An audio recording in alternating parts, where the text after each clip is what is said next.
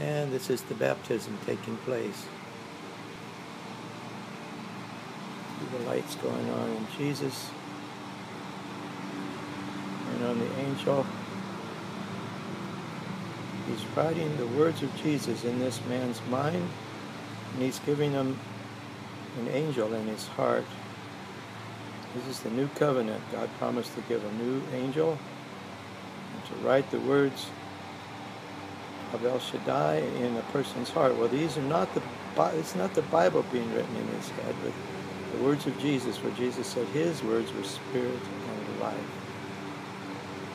So I tell people, you have a choice. Here's the evil one up here who rules the world. Belial, El Beelzebub, El Diablo.